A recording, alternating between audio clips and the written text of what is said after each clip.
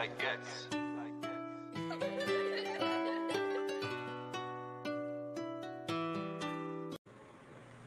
Good morning, good morning, good morning.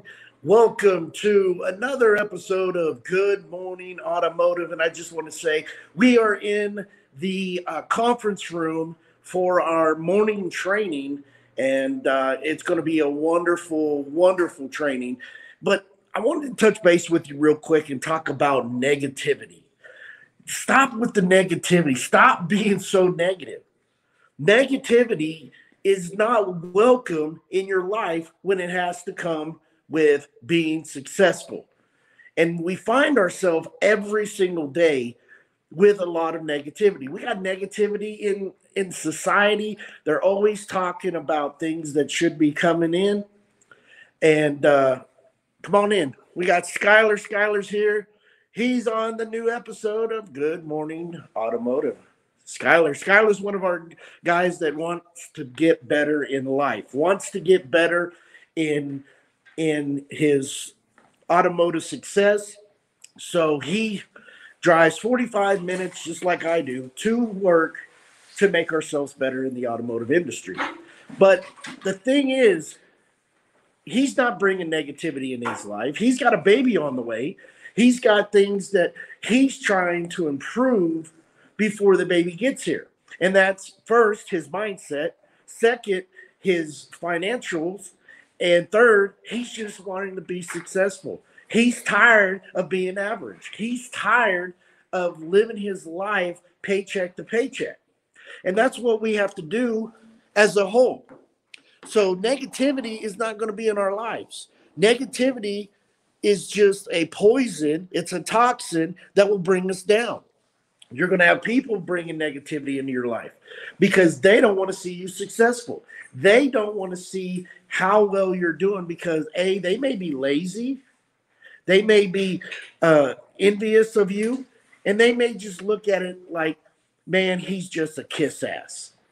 And in all reality, he's not kissing anybody's tail end. He's just determined to have a better life than what he didn't have when he was a kid or what he didn't have when he was growing up. But everybody in this life has always tried to bring negativity in in any forms in any asset, right? Do you agree with that, Skyler? Yes, sir. Yes, sir. So just you know, we got the Super Bowl coming on. We got people talking mad crap about the the Rams and the Bengals, and you know, why they're where they're at. And it's just negative thoughts. But you know what? I'm looking at it. I like the Rams. I like what they're representing. I like what they're doing. And, you know, after the game between the Rams and the 49ers, Odell Beckham Jr. went up to, what was it, Samuels, right? He went up to Samuels Debo, Deebo, and he gave him a hug and he, you know, he, he said some encouraging words to him that gave me a little bit of respect for Odell Beckham Jr. because he wasn't gloating. He wasn't, you know, I'm the best in the world. He had sympathy for Debo because he's seen how hard he was working. They were competing against each other. In this industry, we compete against each other. So if we're successful and we we have a win, we need to go to the person that's not having the win and give them encouraging words. Tell them how much they're appreciated. Tell them how good they are. Tell them, you know what, today's not your day, but man, the next day may be your day.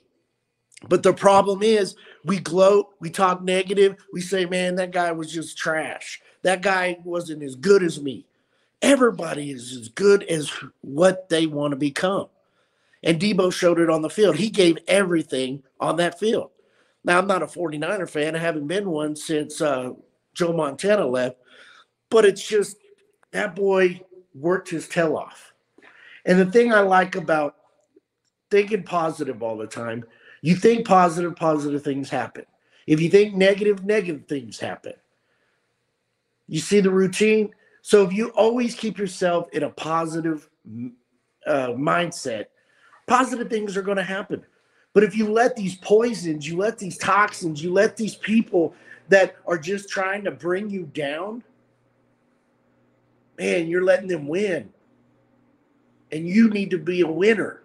You need to be the one that wins. So keep that positive mindset. Stop the negativity.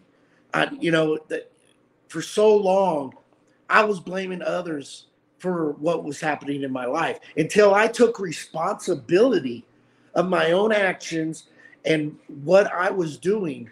Then I started seeing the results. I started seeing what truly was getting in my way, and it was myself. So I needed to stay in the right lane. I needed to mind my own business and not worry about what everybody else was doing. And once I started doing that, then great things were happening. Great things started happening. When I started letting God into my life, things started happening for me, positive things. Nothing negative was happening in my life because I had the greater power that was helping me. He was showing me the direction. He doesn't give me anything that I can't handle. So all this negative stuff that went into my life, he didn't give it to me He's thinking, Ron, you can't handle this. I want to see you fail. He gave it to me because he said to me, You have a bigger purpose. And being here at six o'clock in the morning for a training to be better in our craft, mastering our art, sharpening our axe is making us better. God gives us that reason. God wants you to do better. So when you wake up every morning, you should always have a positive attitude. Don't let negative things enter your life early in the morning. If someone else is having a bad day, you smile, you reflect, and you you say to yourself, I am not going to be that person today. I am not going to let negativity into my life. And once you don't allow negativity into your life, things will change. Things will get better things will be better for you because you have a bigger purpose. So think about that today. You have a bigger purpose in life. Stop with the negativity. I thank you guys for joining me today. I love you. I thank you from the bottom of my heart. Check me out on all YouTube, LinkedIn, Facebook, iHeartRadio, Spotify, Amazon, Audible, Apple Podcast. I'm on all of them.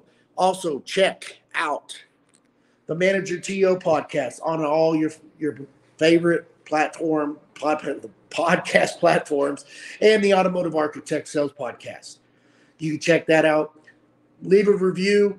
Put, give me five stars. Give me four stars. Just tell me how this has impacted your life and made you better. I appreciate you guys. Have a wonderful day.